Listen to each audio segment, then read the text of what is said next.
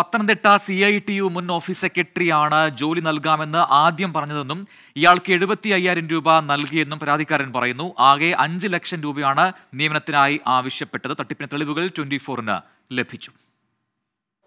March പത്താം തീയതി Pathanamthitta C I T U ഓഫീസിലെ സെക്രട്ടറി അഖിൽ സജി എന്ന് പറഞ്ഞ ആൾ എന്നെ ഇവിടെ തെരഞ്ഞെടുപ്പ് വന്നു. നിങ്ങളിങ്ങനെ അപേക്ഷ കൊടുത്തിട്ടുണ്ടോ എന്ന് ചോദിച്ചു ഞാൻ പറഞ്ഞു അപേക്ഷ കൊടുത്തിരുന്നു. നിങ്ങൾക്കറിയില്ല അപേക്ഷ കൊടുത്തിട്ട് കാര്യമില്ല. അപ്പോയിൻമെന്റ് ചെയ്യുന്നത് ഞങ്ങളുടെ ആൾക്കാരാണ്. അപ്പം ഞങ്ങൾ അപ്പോയിന്റ് ചെയ്യണമെങ്കിൽ കുറച്ച് പൈസ വേണ്ടി വരും. അതുമല്ല നിങ്ങൾക്ക് പെർമനന്റ് ആയിട്ട് ഞങ്ങൾ അപ്പോയിൻമെന്റ് വാങ്ങിച്ചു തരും. മൂന്ന് വർഷം വരെ നിങ്ങൾക്ക് ടെമ്പററി ആയിട്ട് സ്ഥിരമായിട്ട് നിങ്ങൾക്ക് അപ്പോയിൻമെന്റ് തരും. മൂന്ന് വർഷം കഴിയുമ്പോൾ സ്ഥിരമായിട്ട് നിങ്ങൾക്ക് പോസ്റ്റിംഗ് ഞങ്ങൾ നടത്തി തരും അതിന് മൊത്തം പതിനഞ്ച് ലക്ഷം രൂപ വേണം. അതിലേക്ക് അഞ്ച് ലക്ഷം രൂപ നിങ്ങൾ ഗഡുക്കളായിട്ട് ഈ മൂന്ന് വർഷം കൊണ്ട് തരണം എന്ന് പറയും. മാർച്ച് പത്താം തീയതി പറഞ്ഞു പിന്നെ എന്താ വെച്ചാൽ കുറെ കാര്യങ്ങൾ അനുഭവസ്ഥനായതുകൊണ്ട് ഞാൻ അങ്ങനെ ഒരു പോസ്റ്റിംഗ് അല്ലേ നടത്താൻ കഴിയുമെന്നുള്ള ധാരണയിൽ ഞാനത് സമ്മതിച്ചു. മാർച്ച് ഇരുപത്തിനാലാം തീയതി ഇരുപത്തയ്യായിരം രൂപ ഞാൻ അഖിൽ സജീവിന്റെ അക്കൗണ്ടിൽ ഇട്ടുകൊടുത്തു.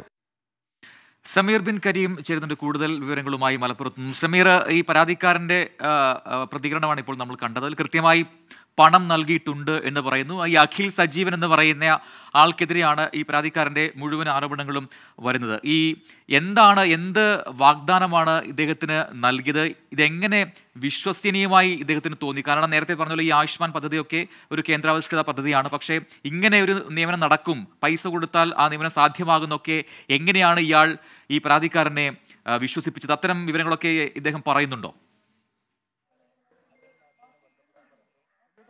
പ്രജിൻ ഈ ഏറ്റവും പ്രധാനപ്പെട്ട കാര്യം ഈ ഹരിദാസ് എന്ന അയാളുടെ മരുമകൾക്ക് വേണ്ടിയാണ് ഈ ഒരു കൈക്കൂലി പണം നൽകിയത് എന്നുള്ളതാണ് ഇദ്ദേഹം പറയുന്നത്. അതിൽ ആദ്യമായി ഈ ഈ ഹരിദാസിന്റെ മരുമകൾ ഈ ആയുഷ്മാൻ പദ്ധതിയിലെ മെഡിക്കൽ ഓഫീസർ സ്ഥാനത്തേക്ക് അപേക്ഷിക്കുന്നു. ഈ അപേക്ഷ അവിടെ എത്തിയത് ഉടൻ തന്നെ ഈ സി ഐ ടി യു മുൻ ഓഫീസ് ജില്ലാ സെക്രട്ടറി ആയിട്ടുള്ള അഖിൽ സജീവൻ ഇവരെ നേരിട്ട് ബന്ധപ്പെടുകയായിരുന്നു.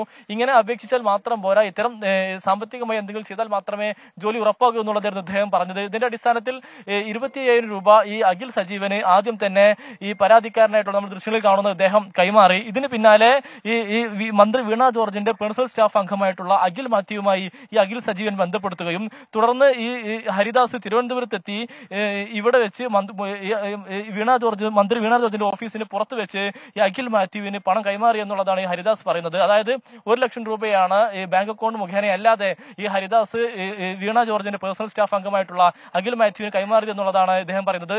അതിനുശേഷം അഖിൽ അഖിൽ സജീവനും ഇദ്ദേഹം ഏതാണ്ട് അമ്പതിനായിരം രൂപ വീണ്ടും കൈമാറിയെന്നും ഹരിദാസ് വ്യക്തമാക്കുന്നു. പിന്നീട് നിയമന ഉത്തരവ് വരു- വരികയും എന്നാൽ നിയമനം നടക്കാതെ വരികയും ചെയ്തതോടുകൂടിയാണ് ഇദ്ദേഹം പരാതിയുമായി ഇപ്പോൾ എത്തിയിരിക്കുന്നത്. ഇപ്പോൾ നിലവിൽ ഞാൻ മനസ്സിലാക്കുന്നത് ഇവിടെ ഈ സ്പെഷ്യൽ ബ്രാഞ്ച് പോലീസ് എത്തി താങ്കളുടെ മൊഴി രേഖപ്പെടുത്തി എന്നുള്ളതാണ്. എന്താണ് നടന്നത്? ഇവിടെ ഈ സംഭവമായിട്ട് ബന്ധപ്പെട്ട് ഞാൻ എപ്പോഴാണ് അപേക്ഷ കൊടുത്തത്? അതുപോലെ തന്നെ ഇവരെ കണ്ടത് എപ്പോഴാണ്? പൈസ കൊടുത്ത എപ്പോഴാണ്? പിന്നെ ഗൂഗിൾ അയച്ച എപ്പോഴാണ്? അങ്ങനെ എല്ലാ കാര്യങ്ങളും. പിന്നെ അപ്പോയിൻമെന്റ് വന്ന അപ്പോയിൻമെന്റ് ഓർഡറുകൾ ഞാൻ കാണിച്ചു കൊടുത്തു. പിന്നെ അതിന്റെ ശേഷം പൈസ വാങ്ങിച്ച കാര്യം പറഞ്ഞു. ഞാൻ പരാതി കൊടുത്തു. ആ പരാതിയിൽ ഒരു റിപ്ലൈ തന്നിട്ടില്ല. മിനിസ്റ്ററുടെ ഓഫീസും തന്നിട്ടില്ല. മിനിസ്റ്ററുടെ പി എസിന് ഞാൻ ഏതാണ്ട് ഒരു മാസത്തിന്റെ അടുത്ത് മുമ്പ് തന്നെ അപേക്ഷ കൊടുത്തതാ. അവരതൊക്കെ വായിച്ചിട്ട് ശേഷമാണ് മിനിസ്റ്റർക്ക് തന്നെ അപേക്ഷ കൊടുക്കാൻ പറഞ്ഞത്. അങ്ങനെയാണ് ഞാൻ രണ്ടാമത് ഓൺലൈനായിട്ടും റിട്ടേൺ ആയിട്ടും അപേക്ഷ കൊടുത്തിട്ടുണ്ട്. ഇപ്പോൾ ഈ പരാതി ഡി ജി പി കൈമാറിയതിന്റെ അടിസ്ഥാനത്തിൽ കൂടിയാണല്ലോ താങ്കളുടെ മൊഴി രേഖപ്പെടുത്തിയത്. അതെ അതെ. ഏതായാലും ഈ വീണ ജോർജ് മന്ത്രിയുടെ ഓഫീസിൽ നിന്നും ഈ പരാതി ഡി ജി പിക്ക് കൈമാറുന്നു. ഇതിന് പിന്നാലെ ഇപ്പോൾ ഈ സ്പെഷ്യൽ ബ്രാഞ്ച് പോലീസ് സംഘം ഇവിടെ എത്തി. ഹരിദാസിന്റെ മൊഴി വിശദമായ മൊഴി രേഖപ്പെ- മൊഴി രേഖപ്പെടുത്തി മടങ്ങിയിരിക്കുകയാണ്. ഏതായാലും ഇതുമായി ബന്ധപ്പെട്ട് കൃത്യമായ അന്വേഷണം വേണമെന്നുള്ളതാണ് മന്ത്രിയുടെ ഓഫീസിൽ നിന്ന് നമുക്ക് മനസ്സിൽ പറഞ്ഞതായി നമുക്ക് മനസ്സിലാക്കാൻ സാധിക്കുന്നത്. പ്രജി ശരി സമീർ ബിൻ കരീമാണ് വിശദാംശങ്ങൾ നൽകിയത്. എന്തായാലും ഈ അഖിൽ മാത്യു അഖിൽ സജീവൻ ഇവർ തമ്മിലുള്ള ബന്ധം അതെന്താണ് എന്ന് പോലീസിന് അന്വേഷണത്തിൽ വ്യക്തമാവണം. ഇവർ തമ്മിൽ ആ രീതിയിൽ ബന്ധപ്പെട്ടിട്ടുണ്ടോ? ഇവർ ചേർന്ന് എന്തെങ്കിലും തട്ടിപ്പുകൾ നടത്തിയിട്ടുണ്ടോ എന്നൊക്കെയുള്ള അന്വേഷണമാണ് ഇനി നടക്കാൻ ഇരിക്കുന്നത്. അതിൽ നിന്നാണ് ഇതിനൊരു വ്യക്തത വരിക. എന്തായാലും അഖിൽ സജീവനെതിരെ നേരത്തെയും ആക്ഷേപങ്ങൾ ഉണ്ടായിട്ടുണ്ട് എന്ന് പാർട്ടിക്കുള്ളിൽ നിന്ന് തന്നെ അത്തരം പ്രതികരണങ്ങൾ വരുന്നുണ്ട്.